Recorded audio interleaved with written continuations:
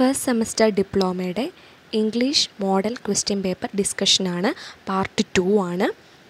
ഇത് two thousand twenty one revision പ്രകാരമുള്ള model question പേപ്പറാണ്. ഓക്കെ ഫസ്റ്റ് വൺ കഴിഞ്ഞു. ഫസ്റ്റ് ക്വസ്റ്റ്യൻ നമ്മൾ ഡിസ്കസ് ചെയ്ത് കഴിഞ്ഞു. Second question my little horse must think it queer to stop without a farmhouse near ഇത് stopping by woods on a snowy evening എന്ന് പറയുന്ന പോയത്തിൽ നിന്ന് എടുത്തിട്ടുള്ളതാണ്. ഓക്കെ അപ്പോൾ അത് റിലേറ്റഡ് ആയിട്ടുള്ള ഇതുപോലെ പോയംസിനകത്ത് നിന്ന് ലൈൻ എടുത്തിട്ടാണ് ലൈൻസ് എടുത്തിട്ടാണ് അത് റിലേറ്റഡ് ക്വസ്റ്റ്യൻസ് ചോദിക്കുന്നത്. So first question write a synonym for queer queer എന്ന് പറയുന്നതിന്റെ സിനണിമാണ് അപ്പോൾ സിനണിം എന്ന് പറഞ്ഞാൽ സെയിം മീനിങ് ഉള്ള വേർഡ് എഴുതാൻ വേണ്ടിയിട്ടാണ് നമ്മളോട് ചോദിച്ചിരിക്കുന്നത്. ക്യുയർ എന്ന് പറഞ്ഞാൽ എന്താ മീനിങ് സ്ട്രേഞ്ച് എന്നുള്ളതാണ് മീനിങ് അപ്പോൾ നമ്മുടെ ആ ഒരു പോയത്തിന്റെ ഗ്ലോസറിയിൽ അവിടെ തന്നിട്ടുണ്ട്. നിങ്ങൾ ചെയ്യേണ്ട കാര്യം എന്ന് വെച്ചാൽ ഓരോ രണ്ട് ഷോർട്ട് സ്റ്റോറിയും രണ്ട് പോയം മാത്രമാണ് പഠിക്കാനുള്ളത്. അപ്പോൾ ഈ ഷോർട്ട് സ്റ്റോറിയിലെയും പോയത്തിലെയും കുറച്ച് ഡിഫിക്കൽട്ടായിട്ടുള്ള വേർഡ്സിന്റെ എല്ലാത്തിന്റെയും മീനിങ് ഫെമിലിയറൈസ് ചെയ്ത് വെച്ചിട്ട് വേണം പോകാൻ. അപ്പോൾ എന്തായാലും അത് ഷുവറായിട്ടും ഒരു രണ്ട് അല്ലെങ്കിൽ മൂന്ന് മാർക്ക് നിങ്ങൾക്ക് എന്തായാലും അവിടെ കിട്ടും. അങ്ങനെ മീനിങ് മാത്രം പഠിച്ചാൽ തന്നെ. ഓക്കെ സോ സിനണിം എന്ന് പറഞ്ഞാൽ സെയിം മീനിങ് ആണ്. ആന്റണിം എന്ന് പറഞ്ഞാൽ നേരെ ഓപ്പോസിറ്റ് മീനിങ് എന്നുള്ള അർത്ഥമാണ്. Okay second question why does the poet stop without any farmhouse nearby എന്തുകൊണ്ടാണ് പോയറ്റ് ഒരു ഫാം ഹൗസ് പോലും അടുത്തില്ലാതിരുന്നിട്ടും പോയറ്റ് സ്റ്റോപ്പ് ചെയ്തത് തന്റെ ജേർണി സ്റ്റോപ്പ് ചെയ്തത് എന്തുകൊണ്ടാണ് എന്നാണ് ചോദിച്ചിരിക്കുന്നത്. എന്തുകൊണ്ടാണ് എന്ന് നമുക്കറിയാം. By by seeing that beautiful evening അല്ലെങ്കിൽ by seeing that beautiful woods in a snowy evening the poet had to stop poet was attracted to to it okay. അപ്പോൾ ആ സ്നോയി ഈവനിങ്ങിൽ അല്ലെങ്കിൽ ആ ഓട്ടം ഓട്ടം സീസണിൽ വളരെ മനോഹരമായിട്ടുള്ള ആ ഒരു ഈവനിങ്ങിൽ അദ്ദേഹം ആ ഒരു ഫോറസ്റ്റിലൂടെ യാത്ര ചെയ്യുമായിരുന്നു അല്ലേ? അപ്പോൾ ആ ജേണിയിൽ അദ്ദേഹം ആ ഒരു കാഴ്ചകൾ കണ്ടിട്ട് അല്ലെങ്കിൽ ആ ഒരു സീനറി കണ്ടിട്ട് വളരെ അട്രാക്റ്റഡ് ആയതുകൊണ്ടാണ് അദ്ദേഹം അവിടെ നിന്നു പോയത്. ഓക്കെ. അതുകൊണ്ടാണ് ഒരു ഫാം ഹൗസ് പോലും അടുത്തില്ലാതിരുന്നിട്ടും he stopped Then, analyze why the poet decides to continue the journey even though he wishes to stay back. അദ്ദേഹത്തിന് ആഗ്രഹം ഉണ്ടായിരുന്നു അവിടെ സ്റ്റേ ചെയ്യണം എന്ന് അല്ലെങ്കിൽ കുറച്ച് നേരം അവിടെ നിൽക്കണം എന്ന് അദ്ദേഹത്തിനുണ്ടായിരുന്നു എന്നിട്ടും ഹി കണ്ടിന്യൂഡ് ഹിസ് ജേർണി എന്തുകൊണ്ടാണ് അദ്ദേഹം അങ്ങനെ ചെയ്തതെന്ന്? അതിന്റെ ആൻസർ അതിന്റെ ആ ഒരു പോയത്തിന്റെ ലാസ്റ്റ് സ്റ്റാൻസയിൽ പറയുന്നുണ്ട്. And my I have promises to keep and miles to go before I sleep and miles to go before I sleep ഇവിടെ വളരെ മനോഹരമായിട്ടുള്ള ഒരു സായാഹ്നമാണ്. അല്ലെങ്കിൽ വളരെ ബ്യൂട്ടിഫുൾ ആയിട്ടുള്ള ഒരു സീനറിയാണ് ഞാൻ ആസ്വദിച്ചുകൊണ്ടിരിക്കുന്നത് അല്ലെങ്കിൽ എൻജോയ് ചെയ്തുകൊണ്ടിരിക്കുന്നത്. പക്ഷേ എന്നിരുന്നാലും I have promises to keep എനിക്ക് ഒരുപാട് പ്രതിജ്ഞകൾ നിറവേറ്റാനുണ്ട്. അതുകൊണ്ടാണ് and miles to go before I sleep എനിക്ക് ഉറങ്ങുന്നതിന് മുമ്പായിട്ട് ഒരുപാട് ദൂരം സഞ്ചരിക്കേണ്ടതായിട്ടുണ്ട്. എന്ന് രണ്ട് തവണ ആ ലൈൻസ് അവിടെ റിപ്പീറ്റ് ചെയ്തു വരുന്നുണ്ട്. രണ്ട് രണ്ട് തവണ അത് റിപ്പീറ്റ് ചെയ്തു വരുന്നു എന്ന് പറഞ്ഞാൽ അതിന്റെ അർത്ഥം അതിലൂടെ പോയിട്ട് ഉദ്ദേശിക്കുന്നത് അത് എംഫസൈസ് ചെയ്യുവാണ്. അദ്ദേഹത്തിന് ഒരുപാട് പ്രോമിസസ് ഉണ്ട്. He has so many duties and responsibilities and he has to go അദ്ദേഹത്തിന്റെ ആ ഒരു കർത്തവ്യ ബോധമാണ് അവിടെ കാണിക്കുന്നത്. അപ്പോൾ അദ്ദേഹം പോകണം അല്ലെങ്കിൽ ആ ഒരു ജേണി കണ്ടിന്യൂ ചെയ്യണം അല്ലെങ്കിൽ ആ ജേണിയുടെ ഡെസ്റ്റിനേഷനിൽ എത്തണം എന്നുള്ള അദ്ദേഹത്തിന്റെ ആ ഒരു നിശ്ചയദാർഢ്യം അല്ലെങ്കിൽ ഡിറ്റർമിനേഷൻ കൊണ്ടാണ് അദ്ദേഹം അവിടെ അത്രയും മനോഹരമായിട്ടുള്ള ഒരു കാഴ്ച കണ്ടിട്ടും നിൽക്കാതെ യാത്ര തുടർന്നത് so this is the answer Then, third question I watched the flame feeding on my mother. I watched the holy man perform his rites to tame the poison with an incantation.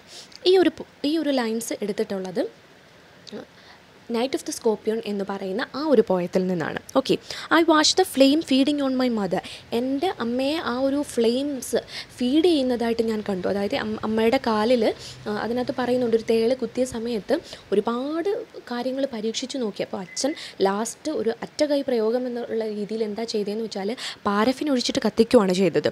Okay അപ്പോൾ ആ ഒരു flame വരുന്നത് അല്ലെങ്കിൽ ആ ഒരു കത്തി നിൽക്കുന്നത് ആ പോയറ്റ് പോയറ്റല്ല ആ ഒരു പോയത്തിൽ സ്പീക്കർ കാണുന്നുണ്ട്. അപ്പോൾ എന്നിട്ട് പറയുവാണ് I watch the flame feeding on my mother I watch the holy man perform his rites to tame the poison with an incantation ഒരു മന്ത്രോച്ചാരണത്തിലൂടെ ഹോളി മാൻ അദ്ദേഹത്തിന്റെ റൈറ്റ്സ് പെർഫോം ചെയ്യുന്നതായിട്ട് അല്ലെങ്കിൽ ഓരോ ആചാരങ്ങൾ ഒക്കെ ചെയ്യുന്നതായിട്ട് ഞാൻ കണ്ടു എന്ന് പറയുന്നുണ്ട്. ഓക്കെ ഇനി ക്വസ്റ്റ്യനിലേക്ക് വരാം. I watched the dash of the holy man.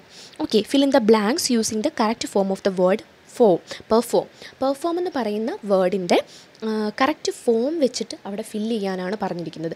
Perform എന്ന് പറയുന്നത് നമുക്കറിയാം ഒരു വെർബാണ് അതിന്റെ നൗൺ എന്ന് പറയുന്നത് പെർഫോമൻസ് എന്ന് പറയുന്നതാണ് അതിന്റെ നൗൺ അത് നമുക്ക് ഏതാണ് ഇവിടെ യൂസ് ചെയ്യാൻ പറ്റുന്നതെന്ന് നോക്കാം. I watched the dash of the holy man നമ്മൾ പറയുന്നത് എന്താണ്?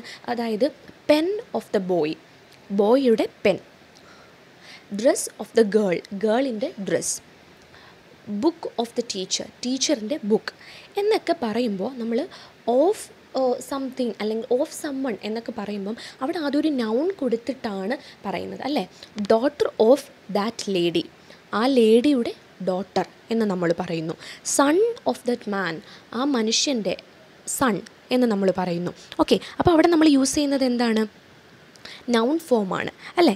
അപ്പോൾ I watch the performance of the holy man perform എന്ന് പറയുന്നതിന്റെ നൗൺ ഫോം എന്താണ്? പെർഫോമൻസ് ആണ്. So the correct answer would be I watch the performance of the holy man okay second question bring out the meaning of the line I watch the flame feed on my mother flame എന്റെ മദറിനെ feed ചെയ്യുന്നു എന്ന് പറഞ്ഞാൽ തീജ്വാല എന്റെ അമ്മയെ തിന്നുന്നു കാർന്നു തിന്നുന്നു എന്ന് പറഞ്ഞാൽ അതിന്റെ അർത്ഥം എന്താണ്? തീ കത്തുന്നുണ്ട് burning the flame is burning the fire is burning in the feet of my mother അതാണ് അതിന്റെ കറക്റ്റ് മീനിങ് ആയിട്ട് വരുന്നത്. Okay how relevant is the poem in the present day present ഡേയിൽ how relevant is the poem in the present day present ഡേയിൽ ഇപ്പോഴത്തെ ഒരു സമകാലിക യുഗത്തിൽ അല്ലെങ്കിൽ കണ്ടംപററി സിറ്റുവേഷനിൽ എങ്ങനെയാണ് ഈ പോയം റിലവന്റ് ആകുന്നത് എന്നാണ് ചോദിച്ചിരിക്കുന്നത്. ആക്ച്വലി ഈ പോയത്തിൽ എന്താണ് കവി പറയുന്നത്? Superstitious belief believes of the people rural people in the rural area of India ഇന്ത്യയുടെ വില്ലേജ് ഏരിയാസിൽ അല്ലെങ്കിൽ റൂറൽ ഏരിയാസിൽ താമസിക്കുന്ന റസ്റ്റിക് ആയിട്ടുള്ള ആളുകളുടെ സൂപ്പർസ്റ്റീഷ്യസ് ബിലീഫിനെ പറ്റിയിട്ടാണ് പറയുന്നത്. കാരണം അതിൽ പ്രത്യേകമായിട്ട് പറയുന്നുണ്ട് ആളുകൾ ഒരു സ്കോർപ്പിയോണിന്റെ വിഷം ഏറ്റ അല്ലെങ്കിൽ സ്കോർപ്പിയോണിന്റെ സ്റ്റിങ് ചെയ്ത ഒരാളുടെ അല്ലെങ്കിൽ അതിന്റെ കടിയേറ്റ ഒരാളുടെ അടുത്തേക്ക് ഒരുപാട് പേര് ഓടി വരുന്നുണ്ട്. പക്ഷേ അവർ in they are innocent people അവർക്കറിയില്ല. The innocence of the villagers വില്ലേജേഴ്സിന്റെ innocence ആണ് അവിടെ പറയുന്നത്. അവരെല്ലാവരും ഓടി വരുവാണ്. പക്ഷേ they are not trying to give any kind of medical help or facility ഒരു തരത്തിലുള്ള മെഡിക്കൽ ഹെൽപ്പും ഫെസിലിറ്റേറ്റ് ചെയ്യാൻ അവർ ശ്രമിക്കുന്നില്ല. Maybe they are innocent അവർ അതിനെ പറ്റിയിട്ട് അവെയർ അല്ല. അല്ലെങ്കിൽ അവർക്ക് അതിനെ പറ്റിയിട്ട് അറിയില്ല. അതുകൊണ്ടായിരിക്കാം. സോ അവരെന്താ ചെയ്യുന്നതെന്ന് വെച്ചാൽ they are buzzing the names of God God. ഗോഡിന്റെ ദൈവത്തിന്റെ പേരുകൾ അവർ പറയുന്നുണ്ട്. അതുപോലെ തന്നെ അവർ പഴയ കാര്യങ്ങളെയും അല്ലെങ്കിൽ പഴയ ജന്മത്തിലെയും ഇനി വരാനിരിക്കുന്ന ജന്മത്തിനെയൊക്കെ പറ്റിയിട്ടാണ് പറയുന്നത്. പഴയ ജന്മത്തിലെ പാപങ്ങൾ നിനക്ക് പുറത്തു പുറത്ത് തന്നേക്കാം. വരാനിരിക്കുന്ന ജന്മത്തിലെ ദൗ മിസ്ഫോർച്യൂൺസ് ഇല്ലാതെ ആയേക്കാം. നിനക്ക് ഈ ഒരു സഫറിങ് കാരണം നിന്നെ തേൾ കുത്തിയതിന്റെ ഈ ഒരു സഫറിങ് കാരണം അങ്ങനെയൊക്കെയുള്ള ബെനിഫിറ്റ്സ് നിനക്ക് ഉണ്ടായേക്കാം എന്നൊക്കെ പറഞ്ഞിട്ട് അവർ ആ ഒരു ഡെസ്റ്റിനിയിൽ അല്ലെങ്കിൽ ആ ഒരു ഫെയ്റ്റിൽ ആ ഒരു വിധിയിൽ അവർ കംഫേർട്ട് കാണുന്നതായിട്ടാണ് നമ്മൾ കാണുന്നത്. അല്ലെങ്കിൽ അവർ സമാശ്വസിപ്പിക്കുവാണ്. എന്നിട്ടും അവർ പ്രത്യേകിച്ച് ഒരു കാര്യങ്ങളും ചെയ്യുന്നില്ല. അതായത് ഒരു ഹോളി മാൻ വരുന്നു അദ്ദേഹം കുറേ ആചാരങ്ങളും മന്ത്ര ഇൻകാന്റേഷൻസും മന്ത്രോച്ചാരണങ്ങളും സ്പെൽസ് ആൻഡ് ചാൻസ് ഒക്കെ ചെയ്യുന്നുണ്ട്. ഈവൻ സ്കെപ്റ്റിക്കാണ് റാഷണലിസ്റ്റാണ് എന്ന് പറയുന്ന അച്ഛൻ പോലും വന്നിട്ട് പാരഫിൻ ഒഴിച്ച് അങ്ങനെ ഒരു പരിഹാരമാണ് അദ്ദേഹം കാണുന്നത്. അദ്ദേഹം എല്ലാ ഹെർബ്സും ഹൈബ്രിഡ്സും മിക്സ്ചേഴ്സും ഒക്കെ പരീക്ഷിച്ച് നോക്കുന്നുണ്ട്. അറ്റ് ലാസ്റ്റ് ആണ് അദ്ദേഹം പാരഫിൻ ഒഴിച്ച് അത് ഫ്ലെയിം കൊടുക്കുന്നത് അല്ലെങ്കിൽ അത് ബേൺ ചെയ്യിക്കുന്നത്. സോ ഇങ്ങനെയുള്ള ഈ ഒരു സിറ്റുവേ അല്ലെങ്കിൽ ഈ ഒരു സിനാരിയോ നമുക്ക് വ്യക്തമാക്കി തരുന്നത് ആ ഒരു സമയത്തെ നിസിം എസക്കേൽ എന്ന് പറയുന്ന പോയറ്റ് എഴുതിയിരുന്ന സമയത്തെ ഇന്ത്യയുടെ റൂറൽ ലൈഫിനെ പറ്റിയിട്ടുള്ള അല്ലെങ്കിൽ അവിടുത്തെ സൂപ്പർസ്റ്റീഷ്യസ് ആയിട്ടുള്ള അന്ധവിശ്വാസങ്ങളെ പറ്റിയിട്ടാണ് നമുക്ക് മനസ്സിലാക്കി തരുന്നത്. സൂപ്പർസ്റ്റീഷൻ എന്ന് പറഞ്ഞാൽ അന്ധവിശ്വാസം എന്നാണ്. ഓക്കെ അതിനെ പറ്റിയിട്ടാണ് നമുക്ക് മനസ്സിലാക്കി തരുന്നത്. സോ ഇന്നത്തെ ഒരു കണ്ടംപററി സിറ്റുവേഷനിൽ ഒരിക്കലും ഇങ്ങനെയല്ല. നമുക്ക് ഈ ഒരു പോയം വെളിച്ചം വീശുന്നത് ആ ഒരു സമയത്തെ ബാക്ക്ഗ്രൗണ്ടിനെ പറ്റിയിട്ടാണ് നമുക്ക് മനസ്സിലാക്കി തരുന്നത്. ആ ഒരു ടൈമിനെ പറ്റി നമുക്ക് മനസ്സിലാക്കി തരുന്നു. ആ ഒരു പറ്റി മനസ് മനസ്സിലാക്കി തരുന്നു എന്നുള്ളതാണ്. ഒരിക്കലും this is entirely different from the era or the time that we are living നമ്മൾ ജീവിക്കുന്ന ആ ഒരു സമയത്തിൽ നിന്നും വളരെ വ്യത്യസ്തമാണ് ആ ഒരു സമയം. ഓക്കെ കണ്ടംപററി സിറ്റുവേഷനിൽ പിന്നെ പറയുന്ന അന്നും ഇന്നും ഒക്കെ മാറാതെ നിൽക്കുന്ന ഒരു കാര്യമെന്ന് പറയുന്നത് ആ ഒരു noble mind or the noble generosity or the magnificence love of that mother മദറിന്റെ ഒരു അമ്മയുടെ സ്നേഹം എന്ന് പറയുന്നത് അന്നും ഇന്നും എല്ലാം മാറാതെ നിൽക്കുന്നു മാറാതെ നിൽക്കട്ടെ എന്ന് നമ്മൾ ആഗ്രഹിക്കുന്ന ഒരു കാര്യമാണ്. Okay So this is the com- contemporary relevance of the poem. Then the next question when Della arrived home, her excitement faded to a little prudence and reason. Della അവളുടെ വീട്ടിലേക്ക് വന്നപ്പോൾ അവളുടെ ആ ഒരു എക്സൈറ്റ്മെന്റ് ഫെയ്ഡ് ചെയ്തു to a little prudence and reason ഒരു വിസ്ഡത്തിലേക്ക് അല്ലെങ്കിൽ ഒരു തിരിച്ചറിവിലേക്കും അല്ലെങ്കിൽ ഒരു റീസണിലേക്കുമൊക്കെ അതൊന്ന് ഫെയ്ഡ് ചെയ്തു. അവളുടെ എക്സൈറ്റ്മെന്റ് ഫെയ്ഡഡായി ആ ഭാഗത്തേക്ക് ആ എക്സൈറ്റ്മെന്റിന് പകരം it was replaced by a kind of prudence and reason ഇത് ഈ പോയം എവിടെ നിന്നാണ് എടുത്തിരിക്കുന്നത്? ഗിഫ്റ്റ് ഓഫ് ദ മാഗി എന്ന് പറയുന്ന ഫസ്റ്റ് ഷോർട്ട് സ്റ്റോറിയിൽ നിന്നാണ് ഈ ഒരു ലൈൻസ് ഈ ഒരു എക്സാപ്റ്റ് എടുത്തിട്ടുള്ളത്. ഓക്കെ സോ നമുക്ക് നോക്കാം. എന്തായിരുന്നു ആ കഥയുടെ പശ്ചാത്തലം അല്ലെങ്കിൽ ആ ഒരു കഥയുടെ ബാക്ക്ഗ്രൗണ്ട് നിങ്ങൾ ഓർക്കുന്നുണ്ടായിരിക്കും? ഡെല്ല ജിം എന്ന് പറയുന്ന രണ്ട് ക്യാരക്ടേഴ്സാണ് അതിനകത്തുള്ളത്. അപ്പം അവരുടെ പ്രത്യേകത അല്ലെങ്കിൽ കഥ എങ്ങനെ the story revolves around these couple who are trying to give some Christmas gift to each other വളരെ സ്നേഹത്തിലിരിക്കുന്ന രണ്ട് ദമ്പതികളാണ് അവർ ക്രിസ്മസിന് ഗിഫ്റ്റ് കൈമാറാൻ ആഗ്രഹിക്കുന്ന ആ ഒരു സിനാരിയോ ആണ് ആ ഒരു കഥയുടെ പശ്ചാത്തലം. അവരെന്താ ചെയ്യുന്നത്? ഒന്ന് ആലോചിച്ച് നോക്കിയേ. ആ ഒരു ഷോർട്ട് സ്റ്റോറിയിൽ എന്താ പറയുന്നത്? അവർക്ക് ആകെയുള്ള രണ്ട് വാല്യബിൾ പൊസഷൻസ് എന്ന് പറയുന്നത് ഒന്ന് ജിമ്മിന്റെ ഒരു ഗോൾഡൻ ഡയലുള്ള വാച്ചാണ്. മറ്റൊരു വളരെ ഇമ്പോർട്ടന്റ് ആയിട്ടുള്ള പൊസഷൻ അല്ലെങ്കിൽ ഒരു അസറ്റ് സ്വത്ത് എന്ന് പറയാൻ പറ്റുന്നത് ഡെല്ലയുടെ ബ്യൂട്ടിഫുൾ ഹെയർ ആണ്. ബ്യൂട്ടിഫുൾ ഗോൾഡൻ ഹെയർ ആണ്. അപ്പോൾ ഡെല്ല ക്രിസ്മസിന് ജിമ്മിനൊരു ഗിഫ്റ്റ് വാങ്ങിക്കൊടുക്കാൻ ആഗ്രഹിക്കുന്നുണ്ട്. നേരെ തിരിച്ച് ജിമ്മും ആഗ്രഹിക്കുന്നുണ്ട്. വളരെ ആത്മാർത്ഥമായിട്ട് ആഗ്രഹിക്കുവാണ്. അപ്പോൾ ഡെല്ല എന്താ ചെയ്യുന്നത്? തന്റെ മനോഹരമായിട്ടുള്ള ബ്യൂട്ടിഫുൾ ആയിട്ടുള്ള ഒരു ഹെയർ കട്ട് ചെയ്ത് വിൽക്കുന്നു. എന്നിട്ട് അതിന് പകരമായിട്ട് ആ ഒരു പൈസ കൊണ്ട് അല്ലെങ്കിൽ ആ ഒരു ക്യാഷ് കൊണ്ട് ഡെല്ല ചെയ്യുന്നത് ജിമ്മിന്റെ ഗോൾഡൻ വാച്ചിന് ഒരു സിൽവർ ചെയിൻ വാങ്ങിക്കൊടുക്കുകയാണ് ചെയ്യുന്നത്. That is the gift of Della to Jim.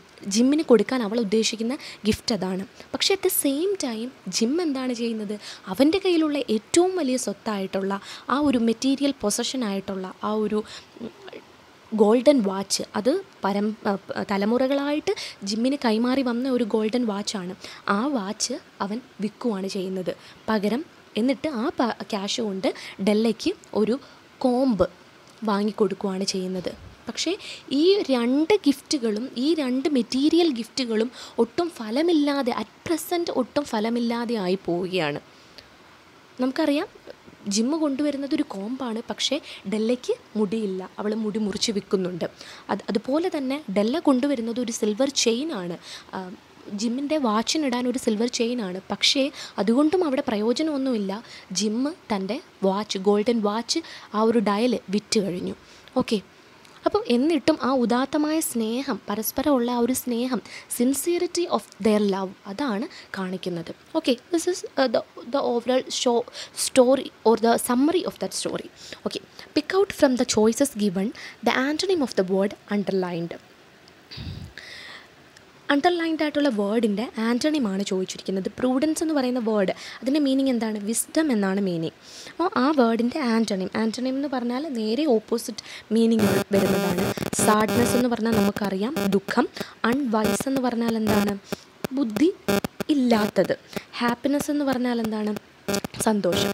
Prudence എന്ന് പറഞ്ഞാൽ വിസ്ഡം എന്നാണ് അർത്ഥം. വിസ്ഡം എന്ന് പറഞ്ഞാൽ ഒരു അപാരമായ ബുദ്ധി എന്നൊക്കെ ജ്ഞാനം എന്നൊക്കെ പറയുന്നതാണ്. സോ അതിന്റെ നേരെ ഓപ്പോസിറ്റ് വരുന്ന എന്താണ്? അൺവൈസ് എന്നുള്ളതാണ്. So unwise is the correct answer why did Della's excitement fade on arriving home എന്തുകൊണ്ടാണ് വീട്ടിൽ വന്നിട്ട് വീട്ടിൽ വരുമ്പോഴേക്കും ഡെല്ലയുടെ എക്സൈറ്റ്മെന്റ് ഫെയ്ഡഡ് ആകുന്നത്? അവിടെ കൃത്യമായിട്ട് ആ ഷോർട്ട് സ്റ്റോറിയിൽ പറയുന്നുണ്ട്. അവൾ വീട്ടിലേക്ക് വരുമ്പോൾ പെട്ടെന്ന് അവൾ മുടി മുറിച്ച് വിറ്റിട്ടാണ് ട്വന്റി ഡോളേഴ്സിന് തന്റെ ബ്യൂട്ടിഫുൾ ഹെയർ വിറ്റിട്ടാണ് അവൾ എന്ത് വാങ്ങിയത്? ജിമ്മിനൊരു ഗിഫ്റ്റ് വാങ്ങിയത്. എന്നിട്ട് അവൾ വീട്ടിലേക്ക് വരുവാണ്. പക്ഷെ വീട്ടിലെത്തിയവൾ ഭയങ്കര എക്സൈറ്റ്മെന്റിലായിരുന്നു എന്നിരുന്നാൽ തന്നെയും വീട്ടിലെത്തിയപ്പോൾ പെട്ടെന്ന് അവൾക്ക് ഓർമ്മ വന്നു. തന്റെ മുടിയാണ് ജിമ്മിന് ഒരുപാട് ഇഷ്ടപ്പെട്ടിരുന്ന അല്ലെങ്കിൽ തനിക്ക് മെറ്റീരിയലിസ്റ്റിക് തനിക്കായിട്ട് തനിക്ക് അല്ലെങ്കിൽ അസ് എ മെറ്റീരിയൽ എനിക്ക് ഉണ്ട് സ്വത്തായിട്ട് എനിക്കുണ്ട് എന്ന് താൻ വിശ്വസിച്ചിരുന്ന ആ മുടിയാണ് ഇപ്പോൾ ഇല്ലാതായിരിക്കുന്നത്. ആ ഒരു കാര്യം കൊണ്ടാണ് അവളുടെ ആ ഒരു എക്സൈറ്റ്മെന്റ് പ്രൂഡൻസിലേക്കും റീസണിലേക്കും മാ വഴിതിരിഞ്ഞത്. അപ്പോൾ അവൾ പെട്ടെന്ന് എന്താ ചെയ്യുന്നതെന്ന് വെച്ചാൽ അത് റിപ്പയർ ചെയ്യാൻ ശ്രമിക്കുന്നുണ്ട്. ആ മുടി അങ്ങനെ വലിയ ഒരു അഭംഗിയൊന്നുമില്ലാതെ കാണാൻ വേണ്ടിയിട്ട് നന്നായിട്ട് റിപ്പയർ ചെയ്യുന്നു. കുറേ നേരം എടുത്തത് റിപ്പയർ ചെയ്യുന്നുണ്ട്. കാരണം ജിമ്മ് തിരിച്ചു വന്നിട്ട് നോക്കുമ്പോൾ മുടിയില്ലാത്ത ഡെല്ലയെ കാണുമ്പോൾ എന്തായിരിക്കും അത് അവന്റെ ഒരു റിയാക്ഷൻ എന്നുള്ളത് അവൾ ആലോചിക്കുമ്പോഴാണ് ഈ ഒരു എക്സൈറ്റ്മെന്റ് ഒക്കെ ഫെയ്ഡായി പോകുന്നത്. Okay true love is an act of self sacrifice comment with reference to the short story the gift of the Magi the gift of the Magi എന്ന് പറയുന്ന ഷോർട്ട് സ്റ്റോറിയുടെ ആ ഒരു ലൈറ്റിൽ true love is an act of self sacrifice സ്വയം ത്യാഗത്തിന്റെ ഒരു ആക്റ്റാണ് ഒരു പ്രവൃത്തിയാണ് ട്രൂ ലവ് എന്ന് പറയുന്നത്. യഥാർത്ഥ സ്നേഹം എന്ന് പറയുന്നത് ആ ഒരു സെന്റൻസിനെ നമുക്ക് അല്ലെങ്കിൽ ആ ഒരു സ്റ്റേറ്റ്മെന്റിനെ നമുക്ക് എങ്ങനെ ജസ്റ്റിഫൈ ചെയ്യാൻ പറ്റും? ഷോർട്ട് സ്റ്റോറിയിൽ ഉടനീളം നമ്മൾ കാണുന്ന ഏതാണല്ലേ ഒരു കപ്പിളിന്റെ their deepest desire to give a gift to each other പരസ്പരം ഗിഫ്റ്റ് കൊടുക്കും ഒരു ക്രിസ്മസ് ഗിഫ്റ്റ് കൊടുക്കാനുള്ള വളരെ ആഴത്തിലുള്ള ഒരു ആഗ്രഹമാണ് നമുക്കവിടെ കാണാൻ പറ്റുന്നത്. ആ ഒരു കാര്യത്തിന് വേണ്ടിയിട്ടാണ് അവരെന്ത് ചെയ്യുന്നത്? അവർ അവർ അവരുടെ കയ്യിലുണ്ട് എന്ന് വിശ്വസിച്ചിരുന്ന ആകെ ഉണ്ടായിരുന്ന മെറ്റീരിയലിസ്റ്റിക് ആയിട്ടുള്ള ഒരു അസറ്റ് ആ ഒരു സ്വത്ത് അവർ ഇല്ലാതെയാക്കുന്നത്. So they are self sacrificing അവരുടെ എല്ലാ നന്മകളും അല്ലെങ്കിൽ നന്മ ഉണ്ടായേക്കാം എന്ന് വിചാരിക്കുന്ന വളരെ വാല്യുബിൾ ആണ് എന്ന് ജീവിതത്തിൽ വിചാരിച്ചിരുന്ന ആ ഒരു കാര്യം സാക്രിഫൈസ് ചെയ്യുവാണ്. As a token of their true love ഒരു അവരുടെ ട്രൂ ലവിന്റെ അല്ലെങ്കിൽ അവരുടെ noble magnificence of their love അതാണ് അവിടെ കാണിക്കുന്നത്. ഓക്കെ